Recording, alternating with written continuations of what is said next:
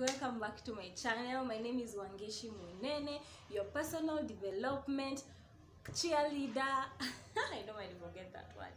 But welcome to my channel. I hope you guys are doing great. I hope you guys are doing good. I hope you guys are washing your hands, sanitizing, and uh, spending time with family, feeding yourself positivity. I also hope you subscribe to this channel and um, personally i'm doing well i'm doing great i'm getting enough time to at least uh, create content and teach myself. At least i'm teaching the people around me how to manage working from home since that's my daily routine.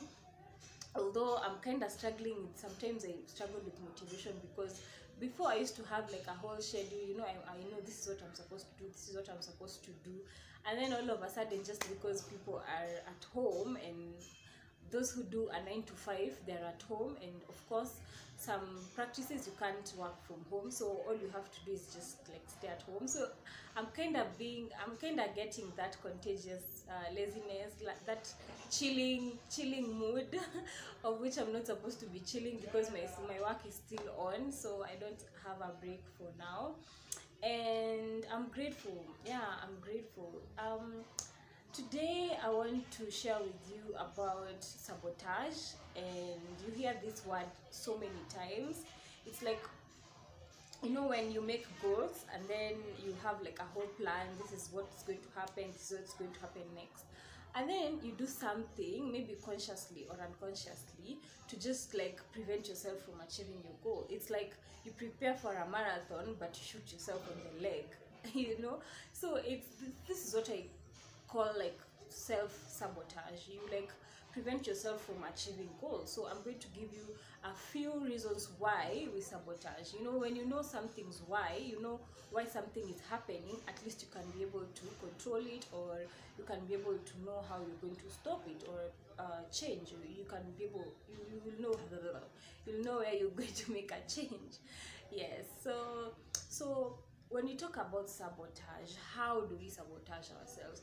I think the most uh, thing that uh, is about self-sabotage is procrastination. Yani we procrastinate a lot and we sabotage our dreams you sabotage your goals and another way how we sabotage is um, overthinking and overreacting. You know you overthink something you overreact about something and then you just sabotage something that was meant to go well you know by overthinking. And then also it's uh, you can sabotage through self-medication. So self-medication is taking drugs smoking drinking and all that. And also like the the interpersonal conflict we have within ourselves which is mostly like negative thoughts and um, low confidence in ourselves just self-doubt and all that. So that's how most of us procrastinate. But i think most of us uh, lie in the procrastination part and maybe self-medicating part yes. And even overthinking actually yeah. So i'm going to give you just a few reasons why we, we self-sabotage. You can watch this video till the end and if you have any questions you can leave them in the comment section below. So let's get straight into the video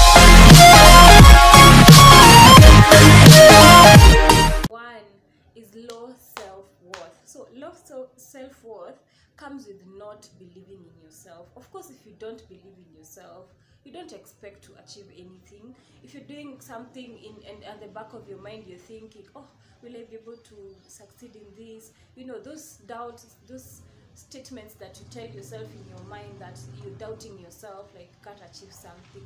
Maybe you said oh i'm going to save a million this year or you said um, i'm going to travel this year and then you're like oh will i really be able to save up and and spend this amount of money like traveling like boarding a plane and going somewhere? So that self-doubt is what is making you not to achieve what you want to do. You know what we tell ourselves and what we say what we what we say what we put out out there is very powerful because what you say what you think comes back to you.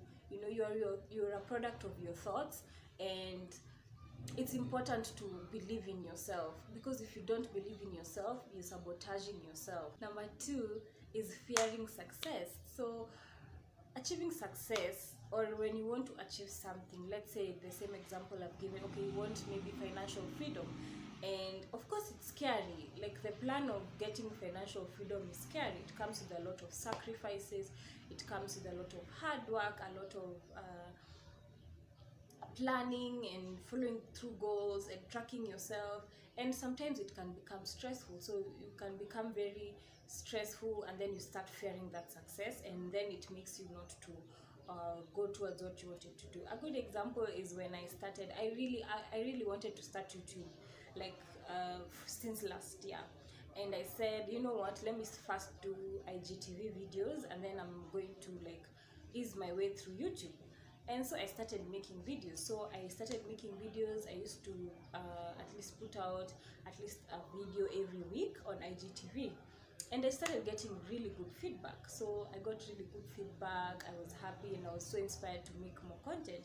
But at the same time i felt like or i felt like you know what? I'm giving people this kind of advice or i'm directing people to do this and myself i'm suffering. So most of the people used to come to me because of uh, maybe depression or anxiety or just trying to discover your purpose. And me putting out whatever i was putting out was uh, just things that i also wanted to do. I was doing them but i was struggling to like maintain a consistent routine in just to make them stick you know. So when i shared and people think like i'm a guru okay i can't say like i i'm not i don't know what i'm saying. Of course i know what i'm saying but i'm not a guru per se. So everything i was sharing was from my experience from what i have done. So when people were approaching me i felt like oh my god what if what if i'm not qualified enough? What if uh, i'm giving people bad advice? What if i you know this is not this success is not mine? You know what if it just what ifs what ifs. I just had so many what ifs. And those what ifs made me stop making the videos because i felt like i'm suffering myself i'm struggling myself with my mental health. There's no way i can be in a position to help another person. So that shut me down. So just fearing i feared success. I feared that uh, peop more people will be coming to me for advice or more people will be you know talking to me and sharing their their experiences and i won't know what to tell them. So that made me shut down and i feared success. And now looking back at it if i was just consistent and just ignored that that low self-worth voice inside me i would have been very far i would have probably transitioned into youtube and started a long time ago but anyway no regrets. I am here now and i'm grateful where i am now and there's no self-doubt that is making me stop anytime soon. So the same for you. Don't make fear of success make you sabotage yourself. You want control. Wanting control when you are like a control freak you want to like you want everything to go as planned. You want everything to go the way it is and that's not how the world works. That's not how life works. You know sometimes things happen out of the blues and you're just like what the hell is this? Like your plans don't go the way you, wanted them to to to go. And so for control freak that can be very triggering. And when you want something to go a certain way and it doesn't it kind of shuts you down and you don't want to try again or you're discouraged from doing something else. So you wallow in that uh, failing just that failing aura because you're a control freak. So and then also being controlling things uh, comes with you want to control an outcome of something. So you tell yourself certain things just to be comfortable you know? You're like um, anyway it won't fail. You're just like ah, it won't succeed. You're just like ah, that thing won't succeed. Anyway many people are nini are doing a beauty eh, beauty whatever people are doing a beauty business or beauty beauty vlogs and you're just and you're like you know what? Even if i start maybe i won't fail. So you're giving yourself that uh, negative outcome so that to control your feelings so that you don't like get disappointment uh, disappointed. And in the real sense you are disappointed. So feeling in control wanting to be in control sometimes you sabotage yourself and like when you're a free mind a free spirit and you're like you know what if something doesn't go as planned that's okay you know? So being wanting to always be in control makes you to sabotage yourselves also. Number four is fear of failure. Fear of failure actually is the like biggest form of uh, self-sabotage so you want to try something you want to achieve that financial freedom you want to start that business you want to ask for promotion but that fear creeps in you know. You you fearing i don't know you fear what people think you fear maybe you'll be rejected or maybe you fear you're good, not good enough you know. And that's a, like a very very very big influencer of not of sabotaging yourself. You know fear it's good to like fear something. It's normal you know when a child is born and you know when someone comes behind you and scares you you you'll be you'll be startled. So fear is something that's inborn it's in us. But the ability to fear through it you, you feel the fear but do it anyway. So if you fear something just feel the fear yes it's going to be there but do it anyways. And you'll be surprised that you, that fear was just something that was coming to like cripple you and it was it was necessary yes but if you fear through it you will succeed and you will stop yourself from sabotaging yourself most of the times. So when people people fear is familiarity.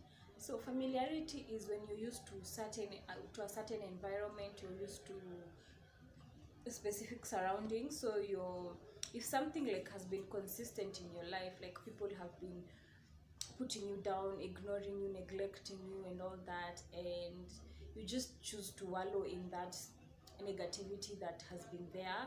So you choose to just stick with the devil you know than choosing the angel you don't know. And the angel in this case is breaking yourself out of sabotaging yourself.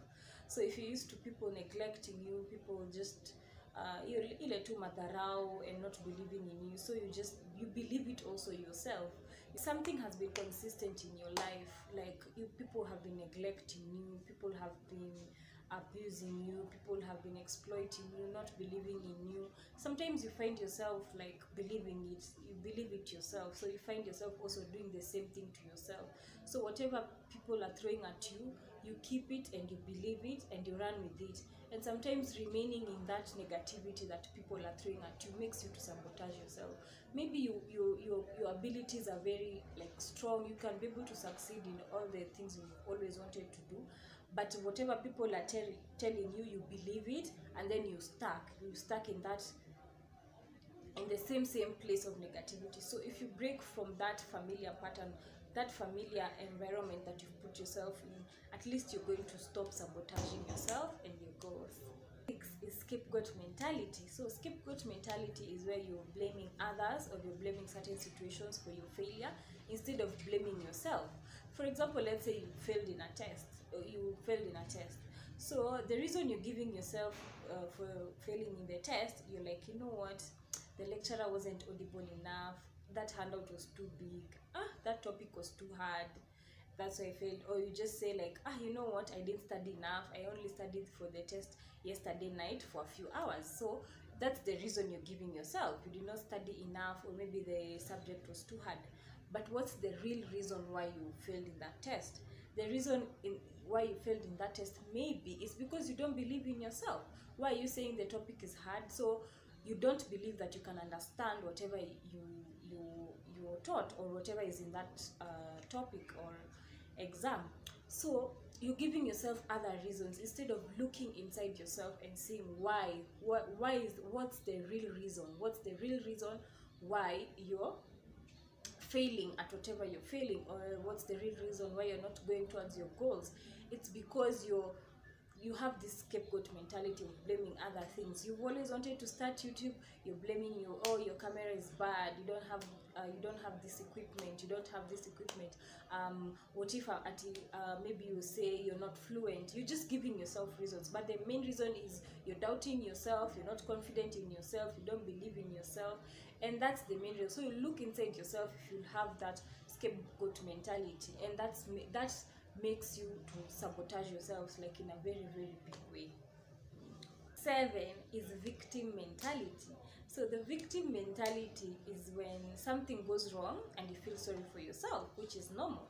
So you something goes wrong you feel bad for yourself and then instead of like uh, like bouncing back or just moving on to the next you wallow in that self pity like for some time and then you start resorting to some comforting behaviors. That's where now the self-medication comes in you you don't you sit down you start drinking you start smoking you know you have start having random sex you start uh, binge eating and stuff like that just to comfort yourself. So when you have that victim mentality you're always when something goes each time something goes wrong you want to wallow in that self-pity and telling yourself oh my god i didn't succeed in this. What's wrong with me? What's wrong with me? and stuff like that. So you you find yourself uh, resorting to that comforting behavior. You start locking yourself in and binge watching movies instead of just like going back to the drawing board and is like you know what? I failed at this.